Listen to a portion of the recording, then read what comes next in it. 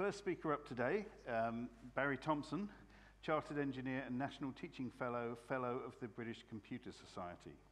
Before retirement, Barrie was a professor of applied software engineering, and his teaching concentrated on research aspects relevant to ethical, professional, and legal issues in the field of computing. And we uh, heard a lot this morning about the need for professional practice, and uh, Barrie's going to talk a bit more about that here. So, a warm welcome from the Open Group, please, for Barrie Thompson.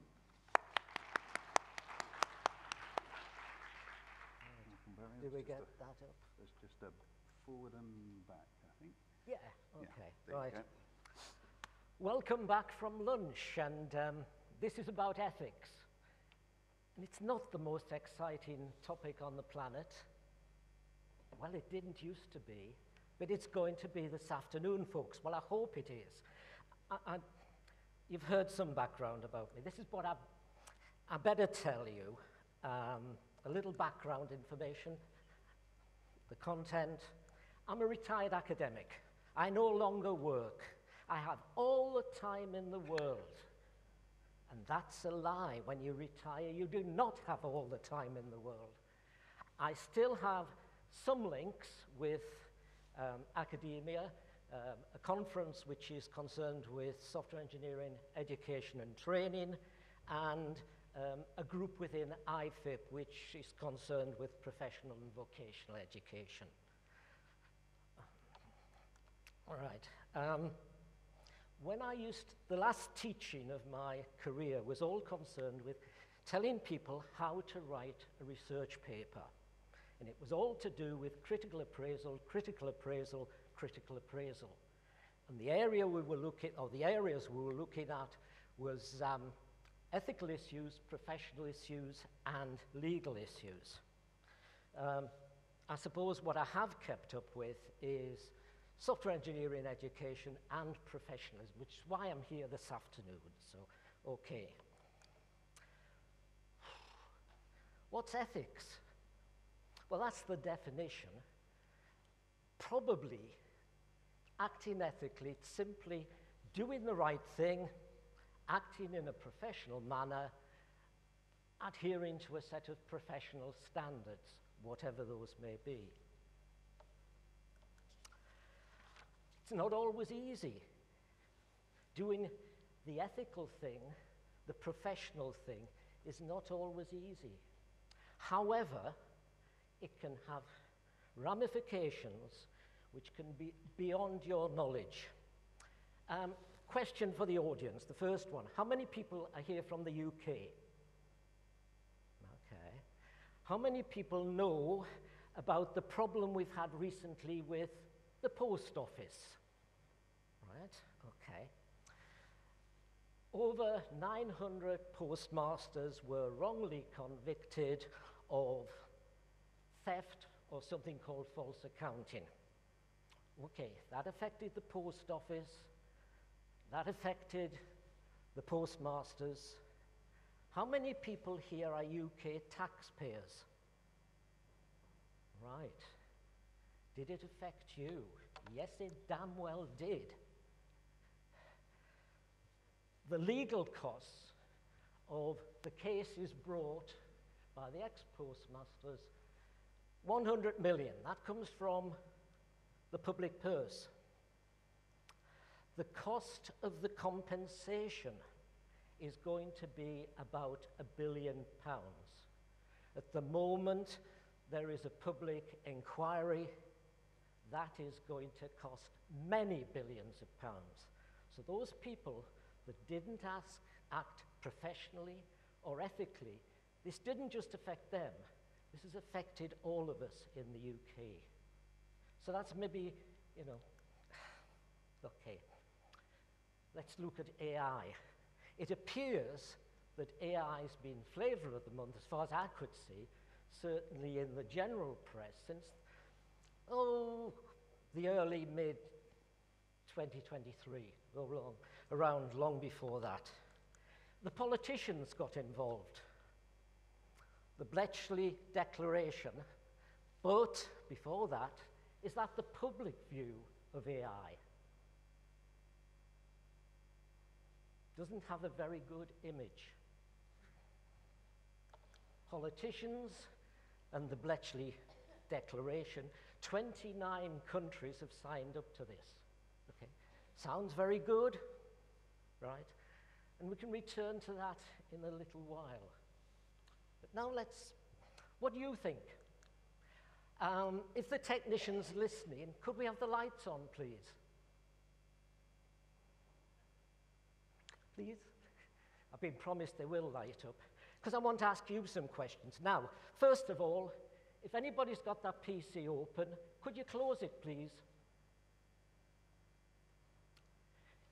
Be professional, be polite, don't look at somebody at your screen while somebody's talking to you, right? If you've got your mobile phone out, could you please put it away? Okay, right. Now, what do you think? Is it just that AI's got an image problem? Show of hands. No, no, hasn't got an image problem. AI is fine. Okay, right, let's try the next one. Is the current use of AI technology safe? Come on, show of hands. Come on, bit of interaction, folks. Don't just sit there, you've had your lunch. I think, is the current use of AI technology safe? Does anybody agree with that? We've got one person. He'll next come up and do a talk about how, technolo how AI technology is safe. Well, I don't know. You could have had it, actually, you could have had a choice today. You could have had the lecture that's taken me off and on about three weeks to research and produce, or you could have had the seven slides that were produced by ChatGPT GPT that I did on Saturday night. Okay, which one? All right. Okay, let's try. Is a technology generally a good thing? Hands up, come on, okay. Currently, we have no worries at all about AI technology. Mm, maybe we have some. Okay. Should we worry about AI technology, AI technology in the future?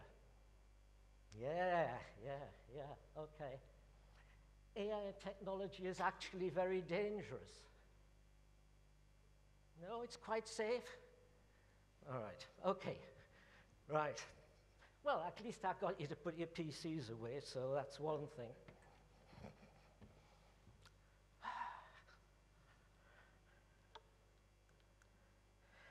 Okay, right. This is about a little bit of the Bletchley Declaration. By the way, if you're in London, or if you want to visit, start again, Barrie. If you want to visit Bletchley Park, all you have to do is get a local train out to Bletchley, have a little walk, you can visit Bletchley Park. You can see the reconstruction of Colossus, which was the first digital computer, you know, etc., etc., etc. Okay, now, suppose you're developing an AI system. Who are the people that have got to take an ethical view? The people that conceived it, that said there's a need for this. I think they should.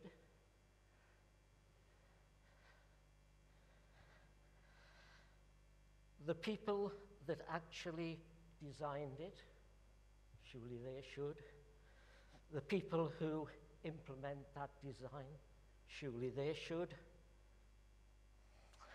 The people that install the system, the managers, the customer, the people that maintain and develop the system.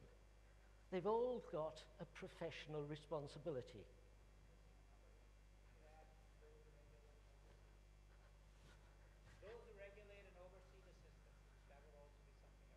Yes, yeah. But all those people, they've got to take, if you like, a level of responsibility. Right. Suppose we look at another situation.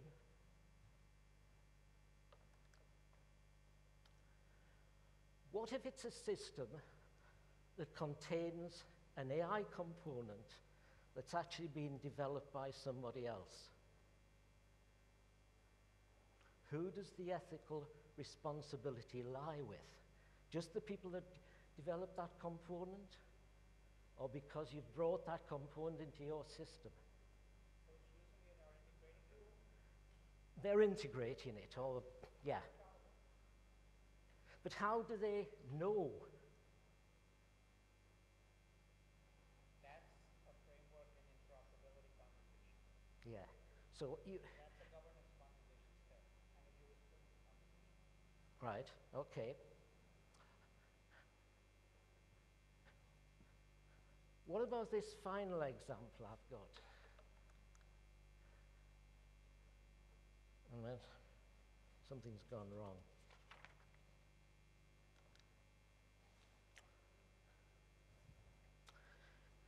The students I used to teach had to produce uh, an MSc level dissertation. Now, this was a number of years ago. The main problem we had was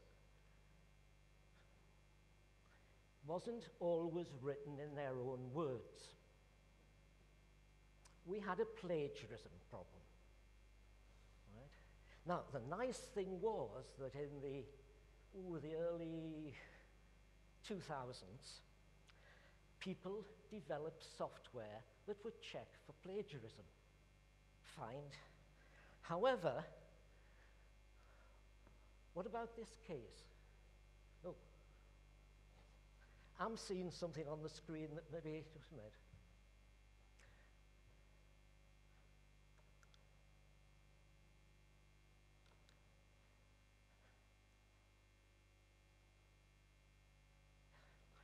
All right, we've got a slight problem because I'm reading one thing off this screen and you're actually seeing something else on your screen. Right, I've got the words other situations, who can be ethically responsible for the following cases? The system contains an already fully developed AI component, but you're not seeing that. Well, yeah, okay. But you weren't before because I had to go back. Right. Okay, so. Right. And again, I'm actually seeing something one slide in front, so never mind. So a student uses an AI developed system. I mean, I produced a perfectly reasonable uh, relationship between ethics and AI on Saturday evening. It read all right, it looked okay, and I couldn't actually recognize exactly where those words had come from, but they looked a bit like the Bletchley Declaration and a bit more and a bit more. So, what if you're in the situation where the whole of an MSc dissertation has been developed by AI? It produces a real challenge for the people that are still academics, that are still evaluating things. So, mm, a bit of a problem. Am I always seeing the, sec- the, the one ahead here? Ah, right, okay, thank you. It's technology.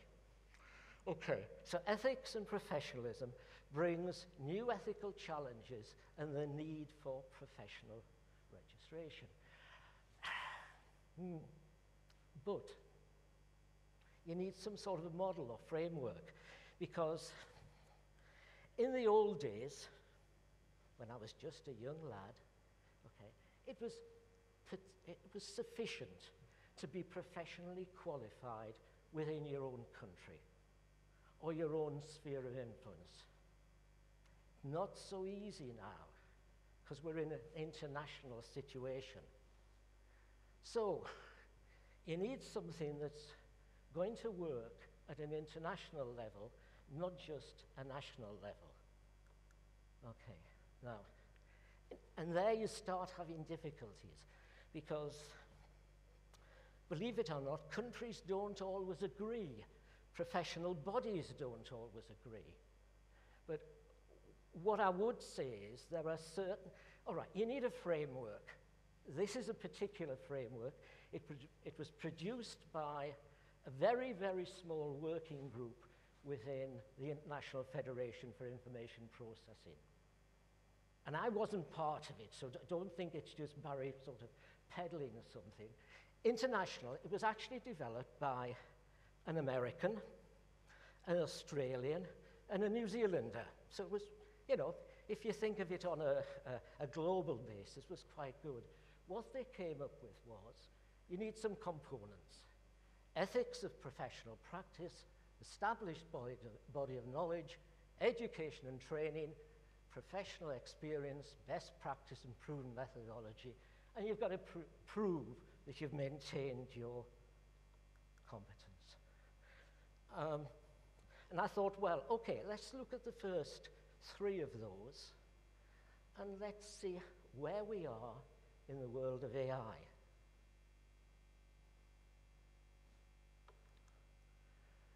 Okay, I couldn't find an actual ethics code for people working in AI. Um, but I did find one for the software engineering, which is a reasonable one. It has two main things in, it, in, in its favor.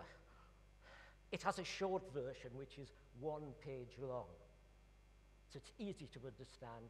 It has a longer version, which is eight pages. So it's, it's not too bad. Now, a, an, another group within the International Federation for Information Processing, they've produced something very similar. It's, it's actually developed because some of the people that were involved with the first one were involved with the second. It's grown to 44 pages. That, I think, hmm, are you really going to sit down and take in 44 pages of ethics to do with professional practice. Really? It's not very exciting. So, you know, uh, I think it's a bit long. Personally, I would say that the best things are things that are developed by a small group and are not too long. Okay. Established body of knowledge. Uh, okay It's a bit more difficult in what is essentially an emerging field. What is the body of knowledge, say at undergraduate level, um, somebody should have if they're going to be class themselves as professional in the IT field. Now, there is a one um, in the in the late 1990s, early 2000s there was a certain disjoint. There was two groups that, to be honest, um, software engineers wanted to see themselves as a distinct discipline. Up till then, it was, you know, the discipline was computer science. And one of the things that was developed to show that difference was there was a, a project promoted by um, the ACM in America, which was develop a, a body of knowledge which was specific to software engineering bit more than Ian, um, Ian Sommerville's book. But okay, it's the sort of thing that could be done, but it's still an emerging field. Education and training. Currently, now this, this is for students in the UK choosing what they want to read at university next September. In the UK, there are 77 different universities that are offering a computing type course which includes software engineering in its title. And they're, all, they're pretty different. I, I had a quick glance at some of them. A typical one, typical title was Computer Science, brackets, Artificial Intelligence, BSc Honours. So there is some education out there, but how compatible it is across the field don't know. Okay. So,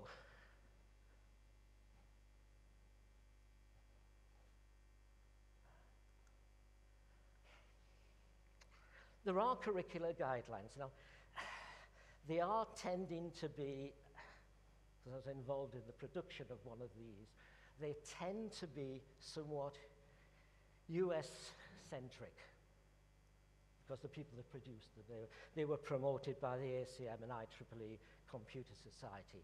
But they're there. The latest one is cybersecurity. But looking through those, I mean, all I did was a quick search, put the words in. There was very few mentions of AI. Now, AI's been around for quite a bit. You'd expect it to appear. Uh, the greatest occurrence was in the computer science set.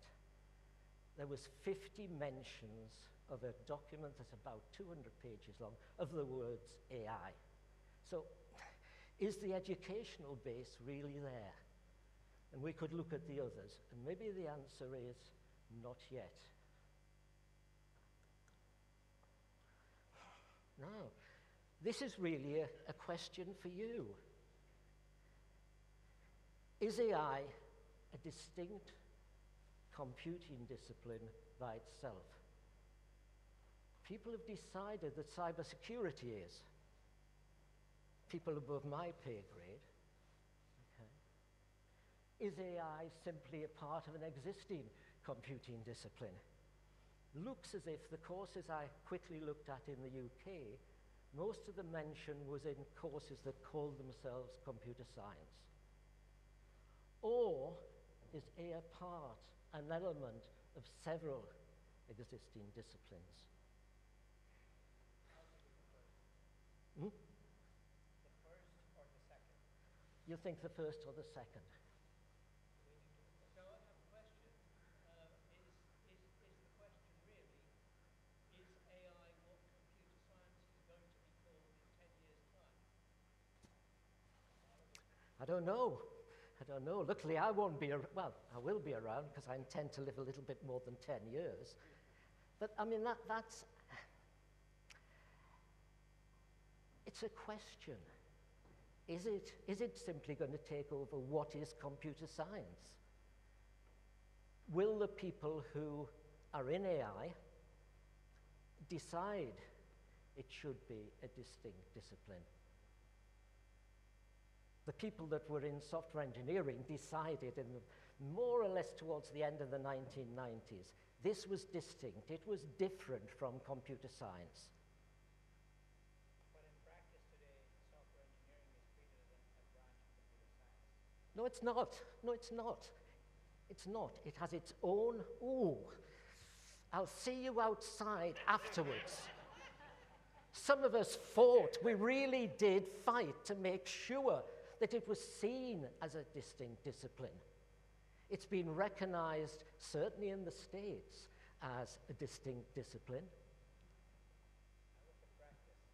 Well, ah, now to practice in the States, that's different because you have to be licensed.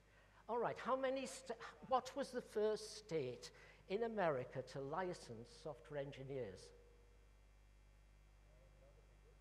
You do. It was Texas. And that was part of the movement. Okay. I'm not going to go down that because I think that's a battle that we already fought and we won. Because when I used to first go to education conferences, software engineering was sort of pushed aside and it became a discipline in itself. It's recognized by ACM, IEEE, Computer Society, and maybe you have to decide where AI lies. It's not my decision. Who will provide professional and ethical guidance? Well, there are professional bodies. For example, in the, B- in the UK, you have the BCS Code of Conduct. Um, in Australia, the Australian Computer Society will have exactly the same. There are standards institutes. So the latest thing is we have a, what does it say? Information Technology Artificial Intelligence Management System, BS ISO standard. Also, individual companies will have their own individual codes of ethics. The one I, I found was KPMG.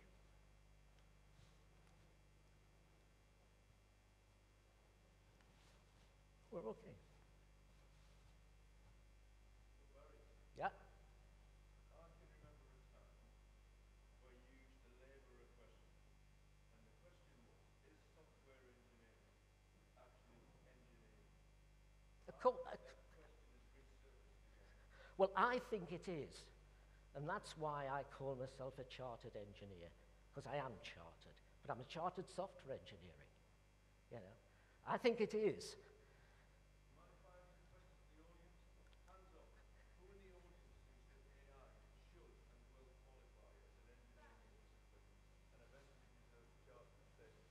Sorry? Yeah.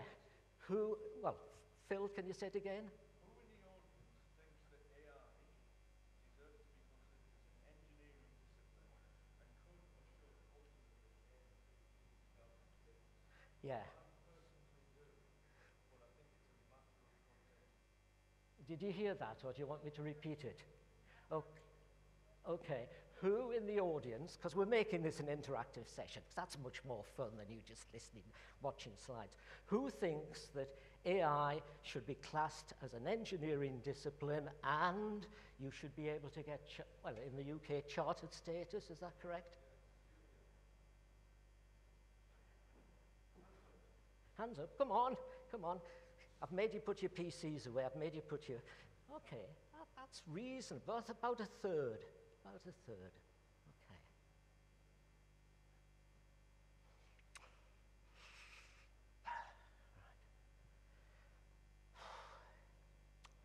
Now, there's two bodies in the States the ACM,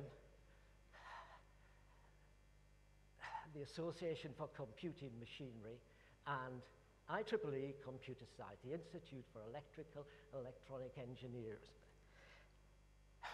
To my mind, this is where I get shot, they are not professional bodies as we would recognize it in the UK. right? I'm, I'm waiting for the arrows. I think they're more in the line of a learned society. What do they do?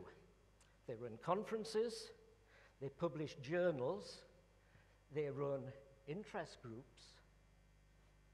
But, but what's, the member, what's the membership criteria?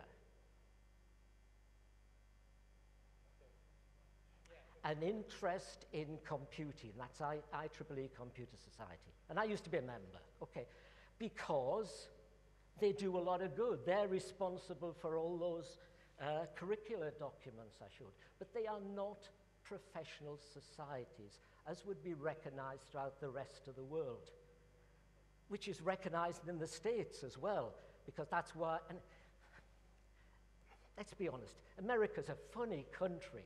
You have all these states, and they all have their own rules. So if you're a licensed software engineer in Texas, could you still go and give your professionalism in California? Probably not. You know. Okay. There's also IFIP, which is a global organization for researchers and professionals working in the field of information sharing. They run very high profile conferences, or at least they used to, often with people in the The one I went to in Beijing several years ago, the then president of China actually came and addressed the conference.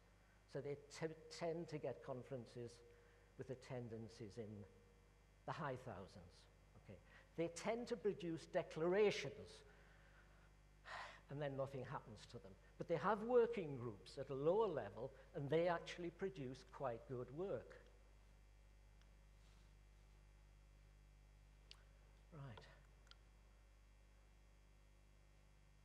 As I said at the beginning, reading and teaching about ethics is not really that exciting. However, if you want to sort of get a grasp of the sort of problems or the ethical questions that can be set, there's a text called The Case of the Killer Robot. It's, it's not a robot as you'd recognize the pictures I showed earlier. It's a robot that is an, essentially an assembly line robot. It decapitates its operator, which is a bit sad. I mean, this is a fictional case, but it's then presented as a set of articles from a local newspaper. And as you read it, you discover that, hmm, Everybody thought at first it was the programmer that made mistakes. He didn't act professionally. But as you read the case study, you find that there's many, many other people involved. And one of the most useful, you know, I used to teach this course about ethics and professionalism. And what we used to do is we used to take one of the codes of professional practice, we used to get the students in groups, and we gave each group a character. And what they had to do, they were not the character. They were to look at that character and they were, present, able, they were to present the case for that character not acting ethically, to get being against the code, or whether they weren't. So, if you like, they were the lawyers. And the rest of the students had to judge them, how well they'd presented that. It meant they actually delved into the, into the case and they started looking at codes of professional practice, which is not, you know, as I said, not the most exciting thing, but it's probably one of the teaching exercises that I found was most useful. Um, it's available in book form with some extra information. Even mentions AI in one of the extra bits of information. And this is a book that was produced in 1998. But actually, it's, it's a bit long, and maybe it's a bit boring as well. But you can get the main bits of the case study from the web. And that maybe gives you an idea of, hmm, who is responsible? What should you do? And at that point, I'm going to stop. And you can put your machines back on. And you can get your phones back out. And you can ask me any questions you like.